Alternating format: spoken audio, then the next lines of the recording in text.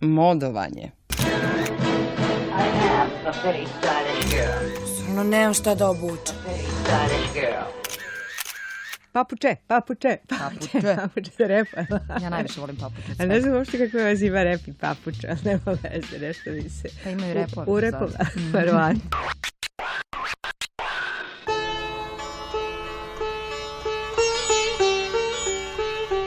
Papuče su usko povezane s istokom, Igrale su kao i danas vrlo važnu ulogu u japanskoj kulturi. ali se pretpostavlja da im je osnovno poreklo iz Persije. Bile su veoma udobne, lagane i, i jednostavne jednostavne za nošenje, napravljene da bi stopala mogla da se odmore nakon napornog dana.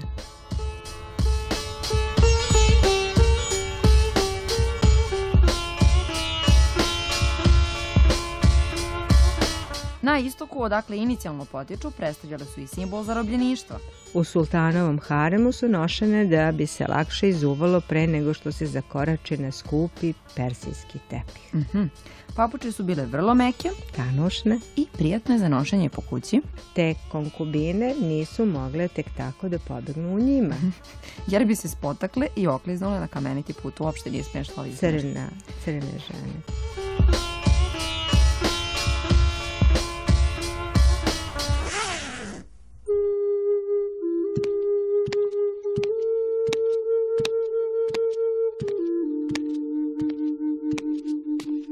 Nekim kulturama kao što je Japan, Društvena obaveza je da se svako izuje pre nego što uđe u zatvorenu prostoriju.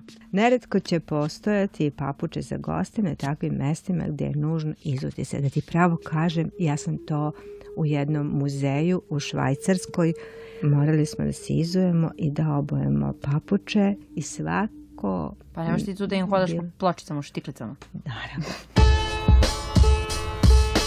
Udobnost ove obuće je bio osnovni razlog zašto su došli i do srednjovekovne Evrope. Do sredine 16. veka većina bogatih ljudi nosila je papuče pravljene od fine kože, Svile ili pliša. često u dezenima koji bi se slagali sa ostatkom garderobe. Muškarci su bili e, doteraniji i modniji od žena. No, no, ubrzo su i žene usvojile ovaj aksesuar, To su bile papuče na visoku platformu. koja je mogla da dostigne neverovatnih 60 cm.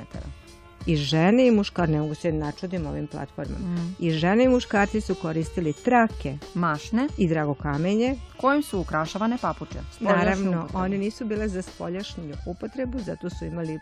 Papuče Oni su papuče. patopne navačili za spoljašnju. Papuče za papuče. Ne, ali patopne kad ideš napolje. Genijalno, genijalno. To baš